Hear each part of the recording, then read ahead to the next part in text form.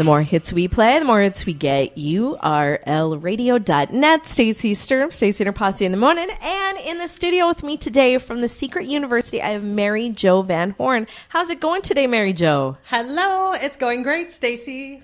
So last week when you were in here, um, we talked a little bit about the Secret University, and we also talked about the Law of Attraction. But let's refresh people about um, what you do with the Secret University. Yes. So the Secret University is inspired by the movie and the book, The Secret. Yes. Okay.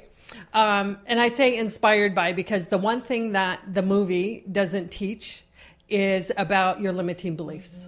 Yes. And that's what I bring in as part of the the university program is that we'll uncover your limiting beliefs so you can become aware of them and then change them.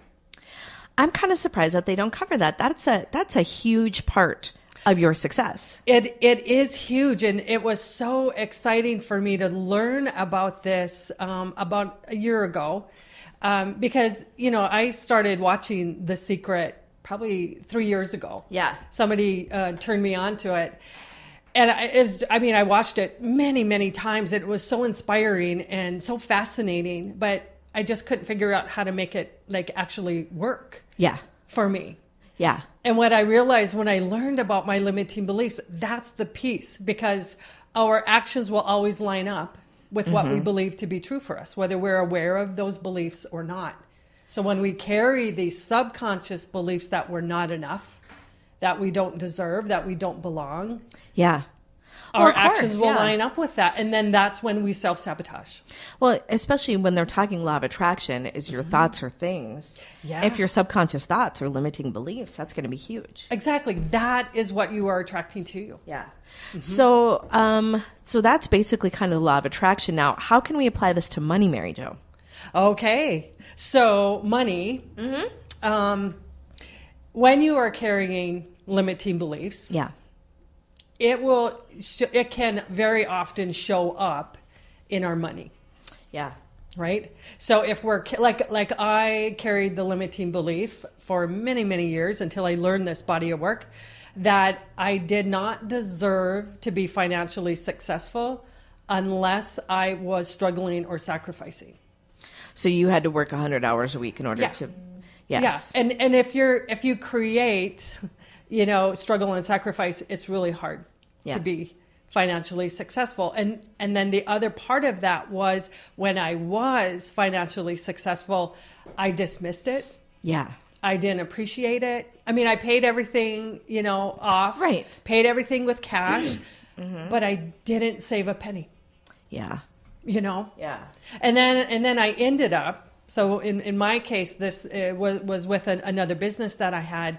I ended up eventually sabotaging, Yeah. you know, that, so that it brought me right back to feeling like I'm barely getting by financially, and that life was hard Yeah. because those were my two big limiting beliefs. Yeah. Yeah. And so when it shows up in your money, you know, so when you're carrying those limiting beliefs um, and it shows up in your money, the only way to change that for you is is to become aware of what those limiting beliefs are and then to see you know how you are sabotaging your money Well, a lot of people, and, and I, I blame society for this, that that money doesn't grow on trees. Absolutely You how know? many of us heard that growing up or Oh, you got to work your butt off You got to work your butt off for this. Yeah, Yeah. yeah, You're yeah. going to have to work and work and work to make that happen. Yeah. Well, and the entire financial industry is based Mm-hmm. on fear Yeah. that there's not enough to go around. That's true. The business industry, I mean, it it is just breaks my heart when people get so caught up in the competition. Yeah. Right? Because then that's coming from a belief that there's not enough to go around. Yeah. Right? Or if that person is successful, then there's less for me. Right. right? And that is not true. I mean, your limiting beliefs are not true. But when we, you know, live, when they sit in our subconscious, Yeah. we're not even aware that they exist. Yeah. And then our actions just line up with the fact that, or with that belief that there's not enough to go around, Yeah. Right? And then, and then we sit in fear. So then how do we switch that, Mary Jo? How can we switch that so that we can kind of turn things around? Well, it especially if you're like me and you're 44. You know what Mm-hmm. I mean? You've been you've been sitting with whatever beliefs I hold for a long time. Yep. Yeah. I was 57 last year when I learned this. So it is never too late. Yeah. And it has just transformed my life in ways I can't even begin to describe. Um, so, what you do is when you become aware of the limiting beliefs that you are carrying, oftentimes, like I, I just worked with a gal last. Uh, last week or the week before, and she came to me and she said, "Mary Jo, I know I have limiting beliefs around money. Um, uh, my husband and I have been married for I don't know, 40 some years, um, and we've always been in debt. We get into debt and then we do whatever we have to do to get out of debt, and then we just go right back in. Yeah. And it's just a constant struggle. It doesn't feel good. It's, it, and I just know I have limiting beliefs around money. And what happened was, as we dove into her limiting beliefs, what it was, it, it wasn't that she had limiting beliefs around money. She had the belief that um, she was broken inside and that, you know, she was always like the fixer. So she was always trying to fix relationships and fix stuff in her business. Yeah. And, and it just carried through into everything.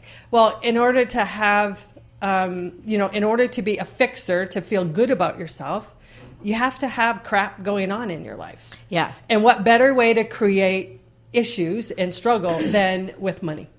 So she was creating her own struggles Yes. so that she could fix them. Yes. And so when she was able to recognize that her limiting belief was really thinking there was something wrong with her, oh. and then was able to see that that's not true, mm-hmm. and then release that, as she starts releasing that, her money issues are going to go away because now they're Yeah. not needed. She doesn't have to create struggle. It's true. Yeah. That's crazy. yeah. How we sabotage ourselves like that. And and it's disguised as logic. Oh my god, I can't even imagine. I don't even think you want to delve into me, Mary Jo. I'm a oh, trust me, uh, been there, done that, and um, but but that's the thing. It's so freeing, right? And then it's actually to start thinking about you know. So the first step is to become aware of your limiting beliefs. Yeah. The second step is to release them, and then the third step is to start focusing on what you do want. So the thoughts and the emotions about money Yeah. that you want to think and feel. I mean, we're very clear, most of us, when we're when we have issues with money or we're not where we want to be. We're very clear that that's not what we want to feel. right. Yeah. But then to try to think, okay, so so Stacy, let me ask you. Yeah. What thoughts do you want to feel? If you could have your money any way you wanted, what thoughts do you want to feel? What I mean, what thoughts do you want to think? What's like a thought statement you want to have about money? Oh gosh. Um. I guess there's a couple. I guess one would be, I will always have enough money for what I need and what I want. Okay, so but for what I need, Yes. Okay, but- and then also what I want. Right. So but by just saying the words for what I need, it's almost Yeah. like you're limiting yourself. Oh, that's true. right? And a lot of people get stuck in, well, I, you know, it's, I don't want to be greedy. So I should think more on the lines of like, I will always have all the money I want. Yep. There's, there is always more than enough. There's always more than more enough than money. enough for me. Mm-hmm. Oh, that those are two good It's- thoughts. Yeah. Especially like and i think too i've kind of sabotaged myself over the years during the divorce because things get rocky financially when Mm-hmm. you're going through a divorce and if i think that's when i probably started a limiting belief system Yeah. Well, So, yeah. it showed up there. Yeah. I mean, you started your limiting beliefs, most of us in childhood. yeah Yeah. But then, it, and then it starts showing up in Yeah. different areas depending on what you've got going on in your life. it's true yeah Yeah. So they definitely showed up in your relationship. mm-hmm. Yeah. And then they showed up in your money. Yeah. Yeah. And then sometimes they'll show up. for me it definitely showed up in my in my business, yeah in one of my businesses, you know, and then there's health. that's true Yeah.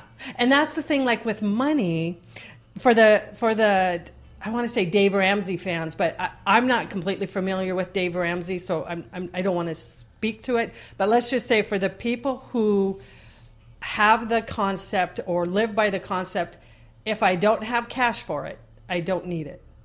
yeah right? There's okay because they get into credit card debt and can't get mm-hmm. out. Okay. But what is the underlying belief around that for someone to say that is is smart and is a functioning and contributing person in this community to say I can't handle a credit card. Yeah, true. Right? They're what what are they really telling themselves? They are validating something like I'm not smart enough to figure this out. I'm Yes. not disciplined enough. Deeper yet, there's some kind of you know sense of self worth mm-hmm. issue there, right? Yeah. I and so then, true. and how many opportunities, especially us as business people, how many opportunities do we shut down because we say, "No, I don't have cash for that. Yeah, I'm not that's true. doing it," Yeah. or "I can't afford that." Yeah. When you can. And a lot of times we will look at our friends who are like, I'm like, how are they affording to go on a vacation right now? There's no way. Like, I'm going to have to save up for a vacation for two years before I can go on a vacation. And they just, they said they're broke yesterday and they just willy nilly went on a vacation.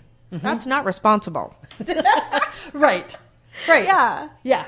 And we don't know what they got going on. No, we don't. You know? Yeah. And and it's really and we don't need to be concerned with Yeah. what other people have going on because then then we start judging and comparing ourselves. Yeah. And then we start feeling uh, shame, Yeah. yeah, or guilt around how you do. And that is the one thing with um, with our emotions because Yeah. it's our emotions that that we are feeling. That's the law of attraction. That's what we are attracting towards us. It's not the words we say. It's not Right. that fake smile. Yeah. We may say, "Hey, I'm just going to fake it today and put on a smile." Right. Right? It's the energy from the emotions we are feeling when we put that out and we can't stop it Yes. right? What we get back are people, uh, circumstances, and opportunities that match that. Yeah. And guilt, this really surprised me. Guilt is the emotion that has the lowest, slowest frequency to it. Oh, I could see that. I'm Catholic. Yeah. right. Right. Everything Right. makes you feel guilty when you're Catholic. Yeah. yeah. So if Not being are, successful, I feel guilty. Being successful, I feel guilty. Yeah. Exactly. Yeah. So if you are carrying guilt around money, whether you have too much or not enough, Mm-hmm. oh my goodness, the best thing you can do for yourself is to give yourself some love and and learn to release that. Because that's just going to keep you stuck. Yeah. So, any other tips before we get out of here? Yeah, and it is um, the fourth step is is just getting clear and allowing yourself, you know, to want what you want with your money without getting attached to the how. Right. We were, I think we talked a little bit about that last Yeah. week. Yeah. We get so caught up in the planning that it just could pass us right by. Yes, yes, and to know that you are worthy Yes. of more than enough money always. that's true. And I just I just did I just posted uh, uh, audio training on my website last night, Stacy. okay. Um, and and you, people can find that at thesecretformula.us Okay. forward slash vlog, V L O G. Okay. And it's titled How Your Subconscious Fairy Tale Story You're Telling About Yourself is Sabotaging Your Conscious Efforts to Make and Keep More Money. We'll definitely share The fairy tale part is your limiting beliefs. Yeah. We'll definitely share that on our Facebook page as well. We'll share that Okay. link so people can check it out. Awesome. And you still have a deal in August too, where people can get a deal if they sign up in August. Yes, uh, the Secret University is half price through the month of August.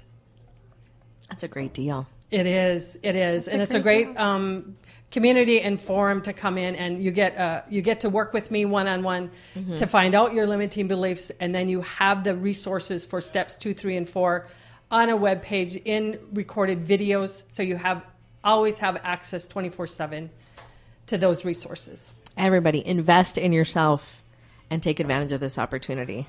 You deserve it. Tell yourself that. Absolutely. Thanks. And what's the website again, Mary Jo? thesecretformula.us.